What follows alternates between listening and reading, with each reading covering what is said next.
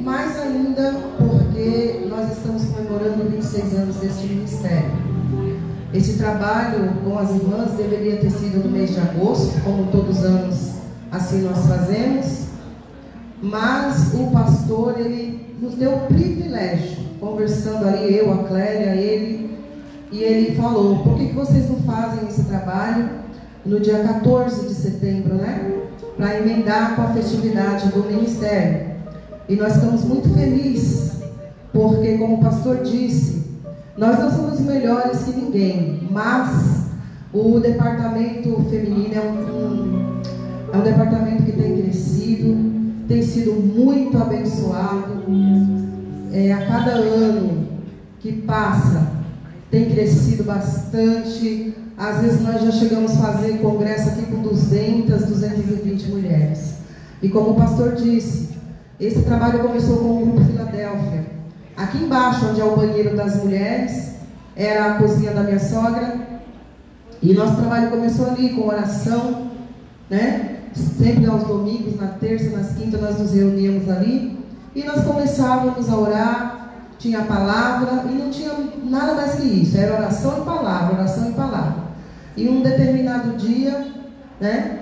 Eu eu, a minha cunhada Fátima, a irmã Lia, Cideira, irmã Vera, minha afinada irmã Wanda, minha cunhada.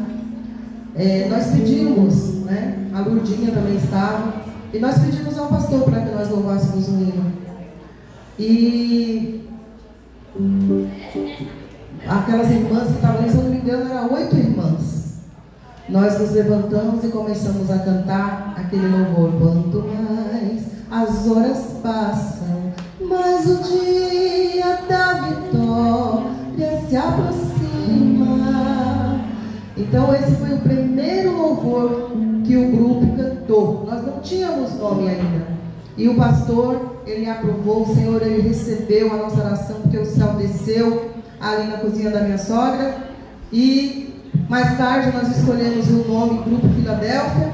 E um ano depois, nós já tínhamos a sigla Unicead, porque esse trabalho já começou a crescer. Eu acredito que hoje, assim, se contar, né, exatamente a quantidade, deve ter umas 400, 500 mulheres no, no, no ministério, embora nem todas participam da Uniciade, mas é grande o número de mulheres né, nesse ministério, que começou aqui, nessa cozinha ali onde é o banheiro da igreja, com apenas oito irmãs. Né?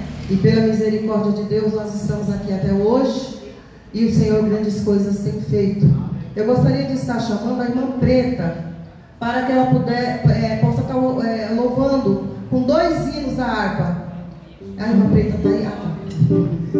É, dois hinos da harpa. E logo depois, né, nós estaremos dando continuidade. Amém. Amém. Todos Senhor, amém? Bom, irmãos, eu me sinto privilegiada, né? Porque desses 26, acho que 23 eu já estou por aqui daqui para a eternidade, amém? E céu. Vamos louvar o 509? Quero toda a igreja